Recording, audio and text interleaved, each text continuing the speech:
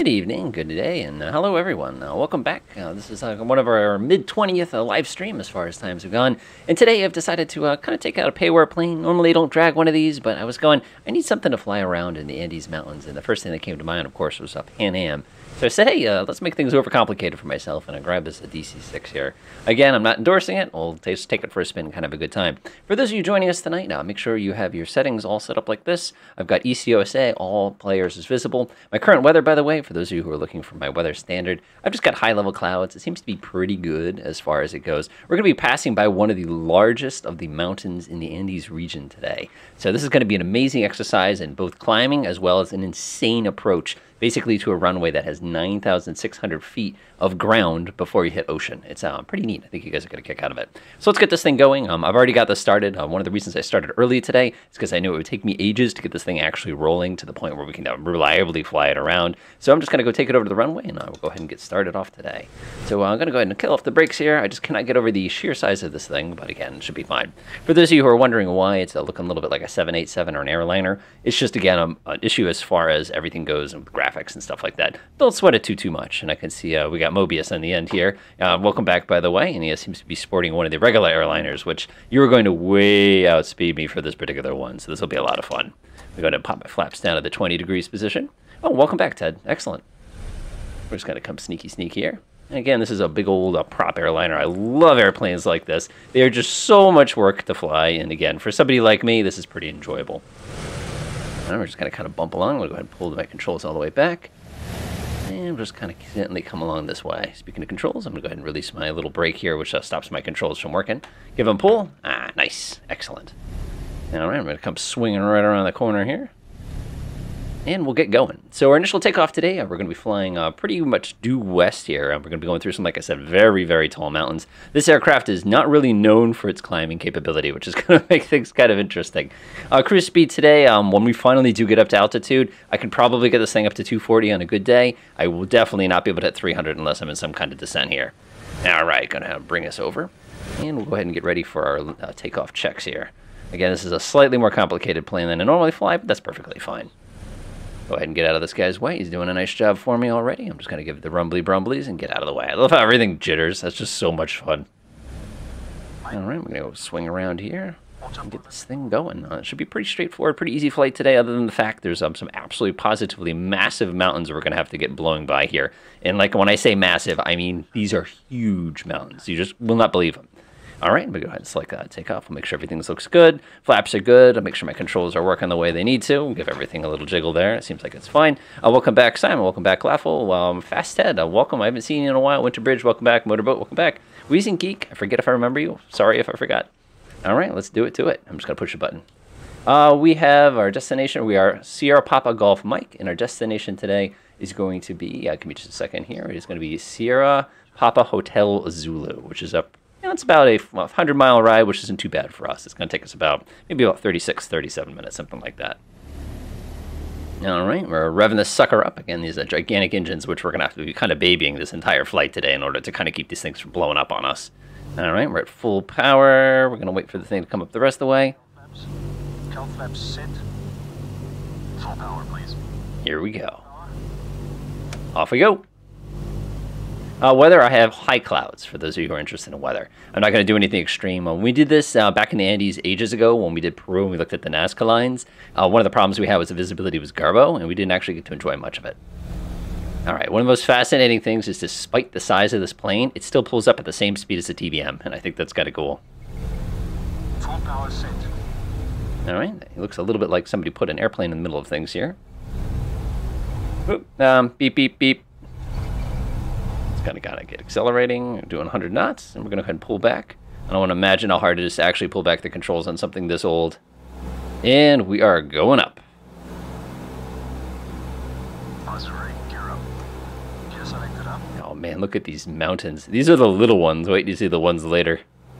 I'm trying really hard not to pull up too hard here and stall the thing out on a climb. Nice and easy. We're just going to swing over to the left.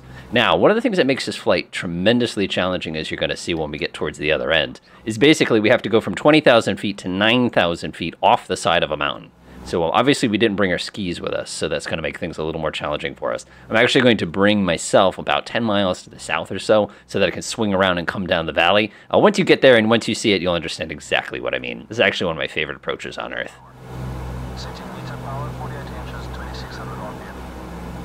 All right, I'm just going to come swinging around the corner here. And we are on our way. Excellent. Now, folks behind me will be amazed how not fast I am. Once we get in a cruise, it's not too bad. But like I said, we got to climb up to about 18,000 feet to safely get over the mountain range. METO power set. There we go. Power. Setting climb power. Oh, getting a little bit of chop from the tops of those mountains. I'm amazed we're even able to clear these mountains, to be honest. Kind of reminds me of uh, one of those old bomber movies when you just constantly hear the drone of the uh, four propellers just kind of going at it the whole time. So old school. I'm going to swing to my left just a little bit here, and we're going to start making our way to our destination airport.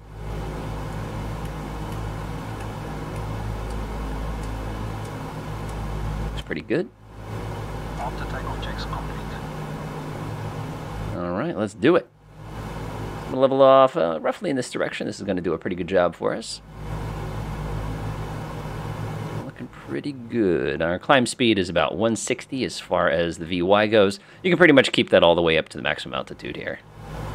All right, I would continue my left turn here to get us lined up, but there's a pretty nasty mountain in the way, so I'm just going to kind of have to hold it like it is. All right, that's looking pretty good. And a little more trim. There we go. I love the autopilot on this thing. It's it's ancient. You flip a switch, and we go down here, and we flip a handle. Just old school. Uh, welcome, Wrath of Storts. Uh, the server, we're in the East USA server currently. So if you want to join us, uh, just make sure you go ahead and under multiplayer. There's an option that says all players. You've got to push that button, otherwise uh, you're not going to become linking up with us. All right, let's get this thing going up a little bit here. There we go. That should do it. And we are on our way, like I said, for the 30th time. Cool. I'm actually going to come to my left a little bit here. So I'm actually going to take this big knob and you actually rotate it. And it actually will go ahead and tilt the plane and take us over to where we need to go. I'm not 100% sure. I know it's the Top Gear reference for S-Class, but I do not know the uh, Viagra height yet. I'm Not sure which one that is, but uh, we will pass by a mountain that is literally 20,000 feet high. This is like basically the Himalayas of uh, South America here. You know, the Andes, the other Himalayas. Love that sound. Now this is real cool. When we're done with our turn, what we do is there's this little button, and you just push the button and it resets the wheel. And it goes ahead and snaps it back to center. Oh man, I love that. Oh man. Now imagine taking a hike here. Like you just, I'm gonna go on a little hike, and you get up to about this altitude, which I'm gonna check real quickly. Yeah, we're at 6,000 feet here, and you're just like kind of roughing it down here. You know, every single little bush and snake and spider and puma basically are going to be hanging around in here, and you're going to be so far away from civilization, it's not even funny. Shouldn't say ever say civilization. I'll say far away from, you know, hospital. How's that sound? Okay, so now this is amazing. So basically what we do is you come into the foothills here. The foothills empty out, and then if you look super ultra carefully in the distance, you're going to see snow-capped mountains. We're going to have to get over the top of those. It's like that Mountains of Madness kind of a thing going on. I'm going to check all my engine systems here, make sure we're not overheating. Uh, we're well within 200 degrees. Oil pressure's fine. Oil temperature's fine. Uh, the carburetor heat is a little cold on that side, but it's not going to give me any issues. That's why we have a flight inspector a flight engineer. Let's take a look outside. Let's see, we have Fast Ted over there on the right. Looking behind him. Uh, Simon, you forgot to put up your landing gear, Chief. Uh, let's see, Moby, that's amazing that you can get that airplane that slow. uh, Laffle Rog, uh, awesome, all right up there on the left here. Wheezing Geek, uh, Robert Fisher Music, interesting. SDO, we haven't seen you in a while. Loaded Alarm, I feel like I didn't see you in a while, but that's all right. Uh, Motorboat, welcome back. Reaper MD, welcome back. I'm just looking around real quickly here. The real Plato. Hmm, I thought the real Play-Doh passed a couple years ago. I don't know what the deal with that is. Go ahead and slap this uh, down just a teeny tiny bit. And we are in good, good, good shape. A couple more notches down. I love how it's just a little click, click, and the nose comes down just a little bit. So uh, not quite as sophisticated as we're used to, but you know what it is? It is pressurized. Speaking of which, what's the temperature in here? Yikes. I'm going to set the temperature to the exact temperature where all the stewardesses are demanding that we provide um, people with blankets. And then they're going to complain to the pilot up front, and they're going to turn the heat on in the airplane, and the airplane gets too hot. So I'm just going to go ahead and uh, preempt that by slamming it up to 80 here. Uh, the flight plan today is going to be uh, Sierra Papa Golf Mike to Sierra Papa Hotel Zulu. Uh, one of the things we're going to be doing a little differently is we're actually going to come a little south. If we try to go straight in, wait until you see the approach. We have to go basically down the side of a mountain, and an aircraft that's this heavy cannot safely do that. So we have to give ourselves a lot of extra room. It's actually pretty cool. Oh, my gear's down too. Oh no. I like the little intake for the uh, compressor. Love that. Look at how cool of a picture this is. I'm gonna have to take a picture right there. Love it. Moby Mobius, I, I, great, great, great use of that airplane there. That's just awesome. Oh, Simon, you're good. You're good. I'm gonna bring the nose up just a teeny tiny bit. Now, one of the things I think is another really fun thing with this particular plane, this is why I love stuff like this, is you actually have a hydraulic bypass lever, but you have an emergency hydraulic valve. Like, you know, you're so used to like on the Airbus, you just push a button for hydraulic system. You never have to actually manually select, oh, I need it on the general system. You know, you have to slam it into that mode and then reactivate it. It's just, ah, it's so old school. I love it. Look at these old ADF radios. So cool. So cool. Okay, so now we're going to proceed. Basically, like I said, we got to get up to about 18,000 feet in order to safely get over these mountains. Then we're going to cruise, and as soon as we get over the mountains, you have to descend immediately. It's an absolutely chaotic approach. You guys are going to love it. Checking everything out, checking everything out. Looks delightful. One thing I do want to check real quickly is how much fuel we're carrying. Unbelievable. Just want to look up at my head real fast. All right, good. The joys of multiplayer. Actually, Simon, uh, one of the things I was talking to one of my uh, flying buddies, and he was basically saying, you know, at what point is the um, being able to share a plane just something that's built in rather than something that you need a special extension for? You know, at some point we will see that. I thought I saw two of those for a second there. Nice. What a great picture there. Love it. So cool. Kind of climbing. So um, I have a cool thing to share with everybody today. For those of you uh, who are watching as we're kind of flying here. Uh, let me go grab it real fast. I think you might get a kick out of this. So um, I've been busy in the last two weeks and uh, doing a little bit of, um, let's see here, a little of uh, this kind of thing. And I uh, just want to point out, in the real world, that's what visibility really looks like uh, when you're flying in uh, conditions like this.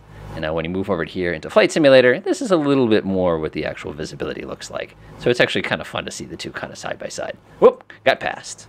is that a 7.4? I'm very impressed. Very impressed. Careful, Wrath. You're a little bit... oh, jeez. Have fun with that. Let me know how that turns out. Speaking of which, uh, we need to go take a look at our altitude. We're crossing at 13,000. So what we're going to have to do in a minute is we're going to have to turn our superchargers onto maximum mode here. So swinging over here, we got these four little switches. It actually, this basically changes the gear of the supercharger. War II fans, eat your hearts out. I mean, that's just right off of a lot of classic fighters kind of a thing. But the difference is we're all this gosh, just look at this. Try to get a road in here. Oh, wait, oh, oh, whoop. Spoke too soon. Look at that. There is roads. Oh, man, we could have done some bush flying in here. I should have thought of that. You know, we'll have to remember this place for next time, but that's all right. I also like the fact, since there's not a lot of uh, photogrammetry, the performance is spectacular. All right, I'm going to go stick my head out the window here.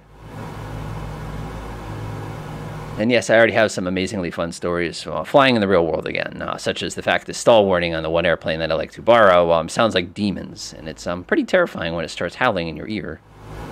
You know, the joys of uh, planes from 1975.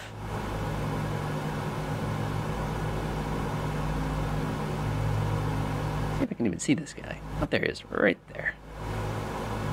This is the other thing in the real world. Uh, you can't see traffic like that. You can see about, you know, about to here. You would never be able to see something down there, it up there.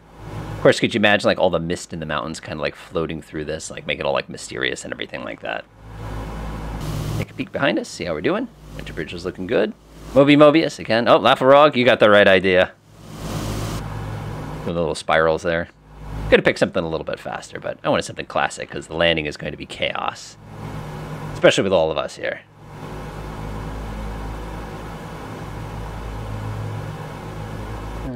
I'm going to go ahead and not 12,000 feet. We're going to flip on these superchargers. I actually changed the mode of the superchargers. I got such a kick out of that. Right there. All right, I feel sorry for my uh, flight inspector guy here. Everything's going to rev up for a second, and then it's all going to rev down for a second. There it goes. Nice. So now we are on the other thing, uh, superchargers. It's going to give us a little bit more boost here, but on my altitude and my climb rate is still going to be pretty glacial. Sorry.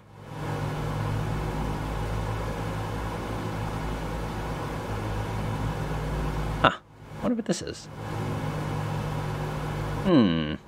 I don't think that got rendered properly. Either that or somebody built a really tall tower on it. I thought for a second that was a road. I was just going, you gotta be kidding me. this is crazy. We are at 13,000 and there are mountains above us. This is this is incredible. There they are. See them? That's what we have to get over the top of today. Don't worry, we'll get there. And then we have to get down them, and you'll see exactly what I mean when we get there. Hopefully everybody's uh, practiced their really, really, really steep approaches here. The trick is just hold the nose up. Yep, there it is. Is one of the tallest mountains in the Himalayas right here. Not quite Mount Everest, but you notice we've never actually flown in the Himalayas yet. We got to do that next time, I think. Of course, what plane do you fly in the Himalayas? A fighter? Like a ski slope. See everybody's doing? Now, um, hmm, Reaper MD, as in a Grim Reaper plus a medical doctor. Interesting combination. Good question, Rissless. That's a great question. So our in-flight movie today is going to be Airport 75. Uh, for those of you who know who the movie Airplane, uh, that was actually a movie that was based on it. Actually, Airport or Airplane? Airport, sorry. And uh, there's actually really, really fun for those of you who have ever heard of Mystery Science Theater 3000. They actually had a movie that was um, called San Francisco International. It was supposed to be a TV series, and they did a whole parody of it that takes about an hour and a half, and it's pretty hilarious if uh, you're not familiar with Mystery Science Theater 3000. But um, they absolutely, it, it's pretty entertaining to say the least. All right, we got 4,000 feet to go, and then we get to level off, and we actually get to accelerate. Can't wait. Oop, nose is getting up a little high there. Check this lake out. This is so cool. I do not know DuQuant LV. Dade Wiggles, all of that. Tangeray, welcome back. Alright. For anybody who's looking for a real fun challenge, try to get over the top of that. Obviously, if you're in a TBM or the airliner, you'll have no problem getting over the top of that. For us, we're actually going to go this way and go down. There's a huge valley right like my mouse is here. And you're basically going to have to go down, cross another mountain, and then shoot down like this in order to safely land. Of course, most of you are saying, um, why don't we just come from this way over here through this little gap and go down that way because it's like a big valley? Uh, it's no fun. I'm sorry. What we really should do is get a bunch of F-14. Oh, we're getting F-14s. we're actually uh, getting F-18s pretty soon. So uh, when we get the F-18s, oh yeah, we're definitely going to do something out at Nellis. So um, get ready for your F-18 skills, folks. Oh my gosh, this is so beautiful here. Look at that. I don't think many people are going to have a lake house because uh, this is probably 11,000, 12,000 feet above sea level. So this would be definitely quite the headache-inducing lake house, I'm sure. And I'm just trying to see if anybody actually lives here. Every once in a while you kind of catch something, but I don't think anybody actually lives up this high. Mm, not that I can see. Eh, maybe. Right there. And that is one heck of a lake house. Oh, there's the road to get to it. I just missed it. Right here. That's awesome. All right. 3,000 feet to go, and then uh, we're to go start leveling the sucker off and uh, building up some cruise speed. Yep, so um, there's the roof of the Earth in the Western Hemisphere here, for those of you interested. And incredibly, there's actually a major city. We're not a major city, but uh, basically right off to our left, you have San Marcos, and you'll actually get a good look at it. So again, uh, you can imagine the headache here. I'd hate to just have to walk to school. I mean, you always think of the stereotype of having to walk up in the snow both ways. Oh yeah, you know this place snows. The real Plato's cutting ahead there. Awesome. All right, he's probably are going to do a couple practice landings before we even get there. But again, we'll be there in about 10 minutes. It's not going to be that bad. 15. It's looking pretty good, pretty good. A fun story from the uh, real world. Uh, when we were flying on Wednesday, our second communication radio was uh, picking up a local TV, or uh, actually local radio. So unfortunately, uh, trying to listen to the weather, we kept getting interrupted by Michael Jackson. So it was kind of one of those situations where it was like, you know, wins 200 at hee hee, as opposed to, you know, the critical information that you actually need to know. But again, those are things that the simulator does not predict well, but it happens in the real world all the time. Oh, so this guy right up here, this is actually your uh, rudder trim. And to make things interesting is that you have your rudder trim there. If we go down here, uh, we have our good old-fashioned elevator trim. And if you come all the way down here, this is actually your aileron trim. So that's what the giant wheels are for. And um, they're, they're a little serious. Usually you don't have to touch them in this plane because of the way the propellers are arranged. But it's nice to have. All right, so here's our goal. We don't want to crash into this thing. We actually want to go behind it. Like there's this little kind of uh, curve right here, and this is basically going to be our goal. For those of you who can get up to 20,000 feet in a hurry, feel free, and uh, go ahead and hit the top, and then put your gear down and ski down the side like this or something like that, kind of a line runner action if you'd like to. But uh, for me, I'm, I'm, I'm going to take it nice and easy and come down this, because again, the runway we're landing at is right on the opposite side of this mountain in the valley, right where my mouse is. You'll get a kick out of it. All right, about 1,500 feet to go, and then we'll level off and uh, speed up. Inca Roads by Zappa. Oh, Zappa's excellent. Uh, Frank Zappa. Um, awesome, very very interesting musician. If you want to read a fun book, he's got a cool biography. And uh, let's just say he's met some interesting people on the road, and you can imagine for somebody like that as well. Fun stage stories as well. All right, taking a look here. Going nice and wide, awesome. Let's take a look at everybody behind us is doing. Oh my, look at that. Yep. Not gonna comment. Oh, welcome back, USAPR, by the way. Jeez, we got all the veterans today. Excellent. 1,000 feet to go. I, I'm pretty sure my calculations are pretty accurate. I should be pointing right at that, but it looks like I am. It's all right. I can get down this valley if I need to. It's not like I've got that synthetic vision.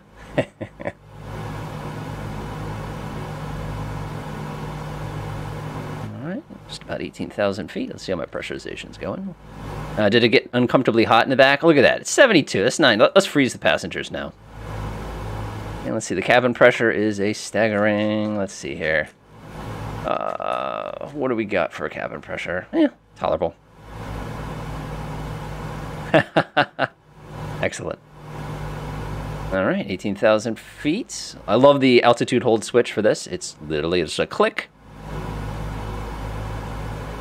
And we are at our altitude. Oh, that's weird, David. Um, I know that uh, Microsoft has a limit to the amount of people who can render in the world at one time. So what can end up happening is you're on the top half of the list of people rendering, and somebody else is on the bottom half of people rendering. You can actually run into some fun, fun kind of situations where that actually occurs.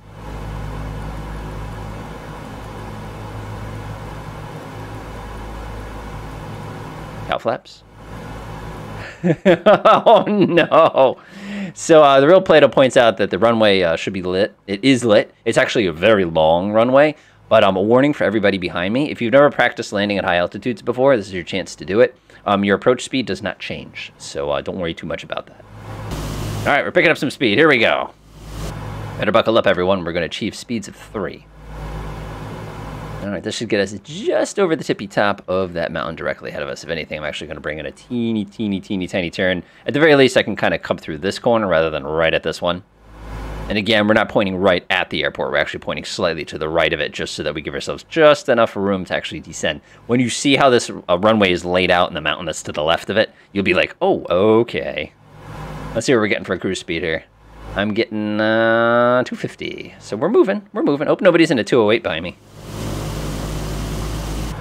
course, I'm most of you pointing out the fact that I'm running my engines at climb power as opposed to cruise power, but eh, it's a 300 horsepower difference. It doesn't matter that much. Oh man, look at this. It went from like extremely lush and extremely green to um, windswept is the word I'm going to use here. Oh, somebody's house. It's kind of like a little bed and breakfast in the Andes Mountains. Remember, the nearest airport, though, is back there. So have fun with that drive.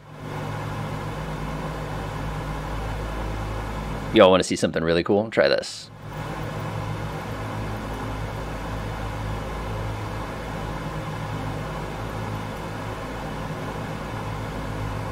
And let's see if I can get it to work. Oh, that's why. The top altitude, put the bottom altitude there. Is it going to work or is it going to freak out on me? Oh, I did not like that at all. And put the bottom altitude a little lower and got it. Now that is exactly what you would expect to see uh, flying through a region like this, pretty much any time. So yes, if you're looking for uh, something a little bit scary, uh, feel free to try that. I'm not going to do the instrument approach in case anybody's curious here because um, I don't know what it is for this airport. I'm not sure that they have an instrument approach. I will clean up the clouds, but for now, why not? Again, those clouds are 18,000 feet high, and here's the mountain right here.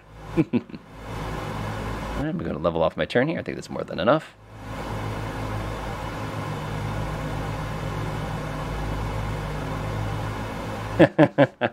I guess I could talk less if you prefer. It doesn't matter to me. Oh man, this is so cool. And there's your other bed and breakfast.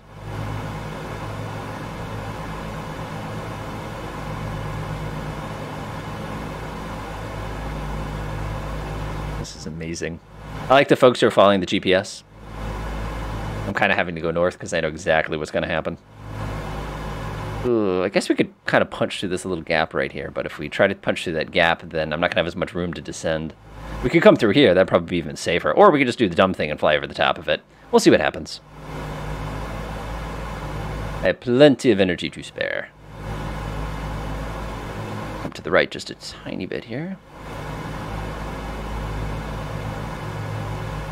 Oh man, you know if you flew into any of those, you'd crash in a second. I don't care what you say. There we go, looks pretty good. Okay, so here's how the approach is going to work. Basically, we're going to pa pass over the town of Huaraz, and we're going to take a right turn. Uh, you're looking for a runway. It's a runway tree 4. So uh, for those of you who are using GPS, uh, when you line yourself up so you're basically due north, you're going to take a right. There's going to be a mountain on your left. You have to get over that mountain and then down into the valley and basically stop. don't, talk less. I love instrumental music. No, that's awesome. I appreciate it. trying to think of all the other fun adventures we've had flying this week. Um, so we've had this thing called a hurricane, and let's just say it tends to turn beautiful weather into, you know, that and extremely strong winds. Yeah, I'm going to fly right into the side of that thing, aren't I? Oh, boy. All right, let's turn. Fine. I'm going to try to aim right for this spot right here. That'll do it. Believe it or not, you can fly an ILS approach in this.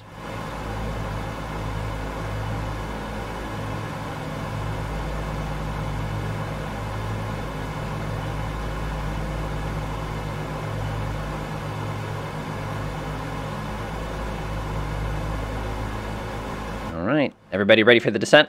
This is to get crazy. Moby Mobius, good job.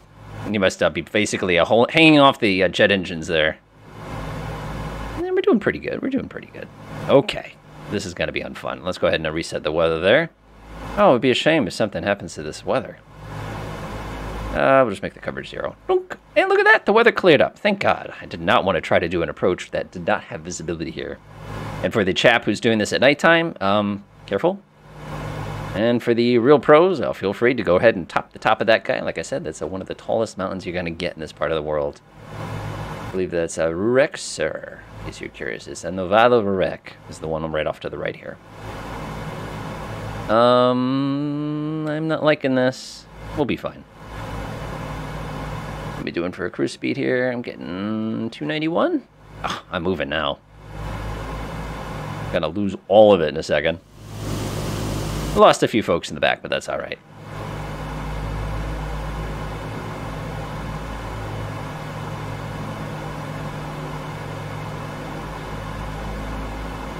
So, uh, Wanderer, it really depends on what you like to fly. I mean, I've, I've said that a million times, and it really depends on how much work you want. If I shut off the automatic uh, flight engineer in this aircraft, it's it they, basically I'd be flying the plane from the engines right now. I wouldn't really be paying attention where I'm going. It gets that complicated. All right, I'm actually going to cut off the autopilot once I clear this one right. Actually, I'm going to cut it off right now. That switch, and click this switch. All right, let's do it to it. All right, you ready for a really crazy landing? You're going to love this. Um, so as far as steam gauges goes, um, generally the age of the plane, if it's an older plane, like you know, like a Cessna 170 or 140 or something, that's going to be pretty ancient as far as steam gauges goes. One of the things you're going to have an issue with is as you start to get aircraft that are older, you're more less likely to have um, instruments that you can use for the purposes of instrument navigation. So it's just something you have to kind of keep in the back of your head. Okay, here we go. This is the valley. So we're going to have to shoot down the valley and take a left here. This is going to be uh, chaos, basically. Go ahead and shut him off real quick. Whoop, don't shut the engines off, otherwise we'll freeze them and they'll lock up on me. Um, other things to think about, um, the regular Cessna actually can come in that version. The regular 152 actually comes with uh, steam gauges if you're into that kind of a thing.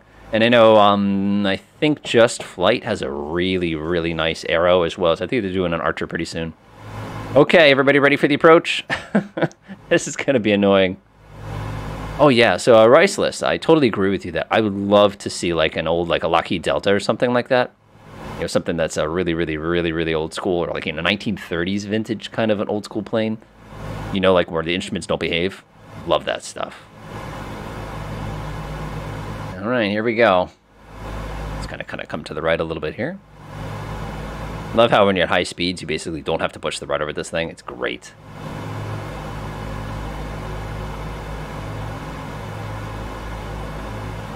I'm actually going to pop open my cowl flaps here, help with the cooling. Uh, but to continue answering your question, Wanderer, it it comes down to what you like to fly. I mean, there's a plane, oh, I can't forget the Blériot, if you want something that literally doesn't have instrumentation in it because it's that old. If you're looking for something really steam gaugey. Otherwise, like I said, I go take a look what Just Flight has. I know Carenado, again, everybody's kind of corrected me in about half a second here. I have a couple really, really nice offerings too, depending on what you're looking for. Again, the systems aren't going to be crazy. If the, if the plane's less than 20 bucks, it's probably not going to be that complicated, but it can still be a lot of fun.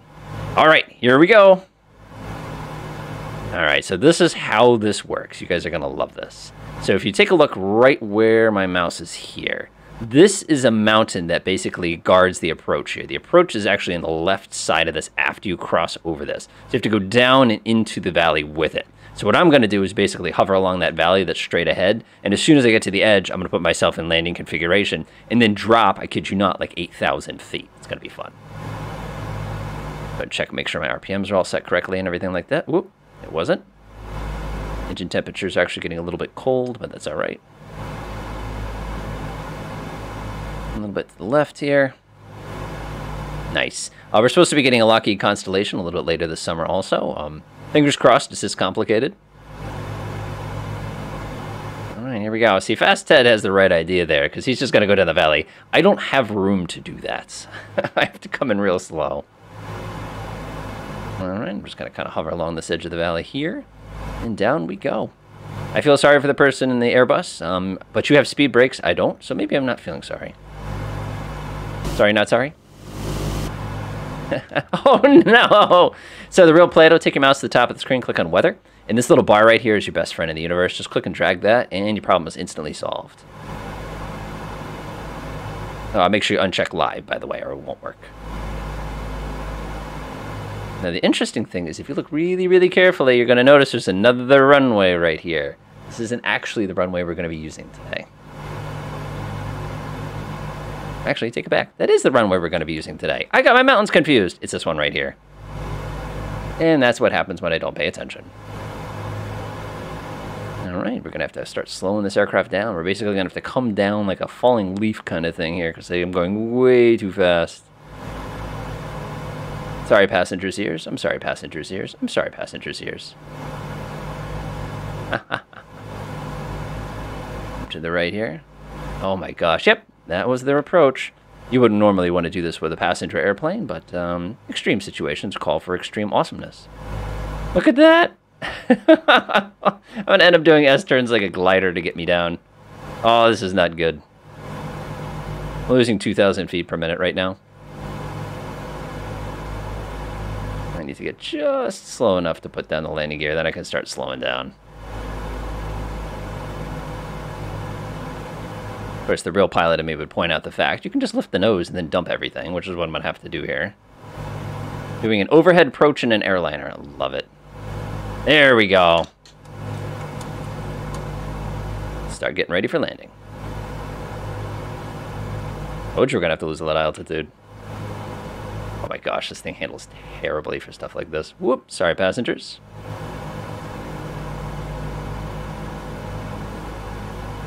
All right, let's do it. this is so crazy. All right, I finally lost enough energy to begin my approach. Oi! Yeah, I got the barn doors. You're not wrong. And by the way, the barn doors, um, the one of the Cessnas that I do fly, it's a 172 from 1975. It has flaps 40. So if you ever think that um, you've come in too fast on a particular approach or something like that, you put those things down and the plane, the word I'm going to use is sinky, because that's what it does. All right, let's uh, line ourselves back up now that we've lost half of that altitude we needed to lose. I think that's a non-standard procedure. Keeping an eye on everything. We're getting a little cool in the engines, but that's all right. Still going too fast.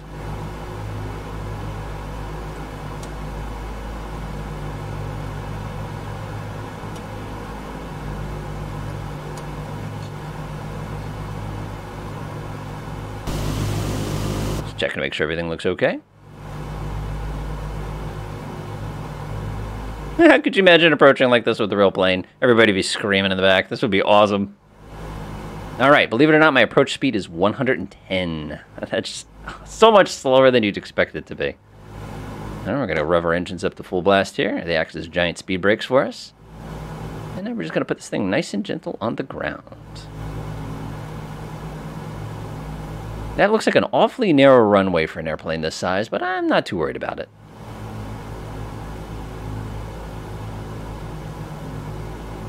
Off to the right, a little bit of a crosswind going on here, but nothing too bad.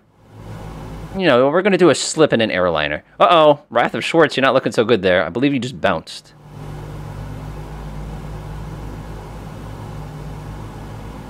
Exactly. All right, actually going to start bringing in a little bit of power here because this thing's going to start sinking like a stone. All right, sterile cockpit.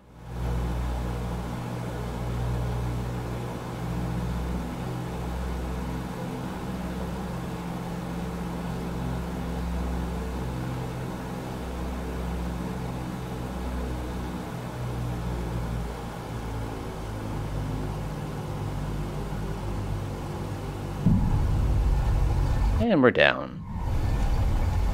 That crosswind was a lot more intense than I expected. And we made it. Woo! What a flight. Oh my, we're here. Almost killed us, but we're here. All right, I'm going to go park over by the little uh, fuel gate right here. And we'll go ahead and uh, go uh, take our little picture that we always take, and I'll probably go find something nice to crash this into. Of course, uh, I will uh, make sure I murder. Actually, I shouldn't murder anybody. I'll empty out all the passengers before I do it, because that just wouldn't be appropriate. Here we go. All right, spin around here. Nice. Man, what a flight. I thought you guys would get a kick out of that approach. That's pretty steep. Alright, I'm gonna kind of sneak my way over here. Looks good. I always like to kind of point this way and hold the brakes. Nice. I guess I should uh, instruct my co-pilot to uh, begin the after take after landing a particular maneuver here. After landing, go ahead and uh, set the plane up with whatever it needs to do. All right, let's get ready for our little picture here. I like how this dude's just like chilling, but he's not even with us. Now this seems suspiciously like some kind of advertisement. I'm just, I'm conjecturing a little bit here. I like the flashing lights motorboat, that's classy. Ooh, we got a couple more folks coming up. I'll wait until they come in. I thought you guys would like that approach because that was insane. Nice Reaper MD, you just, just gotta go. So we did this to a Cirrus today. Uh, we actually blocked him from taking off in this little teeny tiny runway and he wasn't so thrilled about it, but too bad, we were there first. All right, we'll quickly take a little picture. Actually, I want to get a little of the mountain this time. Look at that. That is just so cool. Oh, the real Plato. I forgot that guy. Take a picture. Nice. Uh oh, we got Tanqueray coming. I'm sorry. 1970. Tanqueray, I think, is a form of gin. I could be wrong on that one. Oh, it's Tanqueray. Okay, maybe not. We got one of the person US APRs coming in for landing. Nice. All right, so uh, we get to the end of the live stream. I always like to take a couple minutes to see if anybody has any questions.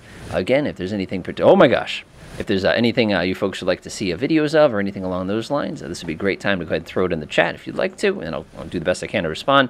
Afterwards, of course, uh, we'll come and uh, do my little grand finale thing that I always do. Coming up next week, I've got a couple different private pilot, pilot kind of maneuvers, and I'll be kind of giving you a couple more cool stories of what's going on with me with my own flying, which has been a lot of fun recently. And hopefully I can bring some videos into that as well. Let's wait until he sneaks in here. This is great. We had a great turnout. And again, thank you folks for coming by as always. Uh, I think it's super duper exciting. Uh, great choices of airplanes here. I know I uh, kind of stole the expensive, uh, sketchy one that nobody really needs, but I had to. It was just so cool. I'm sorry. All right, let me go ahead and empty out my passengers. Again, I'll take any questions that you folks have. I'll go ahead and push that button right here. Let's go ahead and see. After takeoff, we'll go ahead and empty out all of our passengers. I wonder how much oil we burnt on the last flight. Yikes, we burnt about a gallon and a half of oil. All right, passengers, you all got to get out. Passengers ejected. Excellent. I was right. Got it. Oh, did I miss anybody? I like how Wrath of Schwartz is like stuck in the woods somewhere. I don't know what the deal with that is. Oh, can I get that guy in too? Oh, I can't. All right, we'll take this picture one more time, and uh, let's get going. Uh, the airfield here is uh, Sierra Papa Hotel Zulu. Uh, we're in the middle of the Andes Mountains here. All right, let's go, go bouncy bounce over to the end of the runway and end this airplane's a career with dignity here. I feel so wrong about this, but oh well. What are you gonna do? Excuse me. Excuse me. Excuse me. Excuse me. Could you imagine just like ripping down the runway like this? I'll stay in the grass in case anybody wants to land. At least I'm being polite. yeah, this thing wants to take off already. I'm super impressed. This is one of the few aircraft, by the way, that legally can take off with just three working engines. Awesome.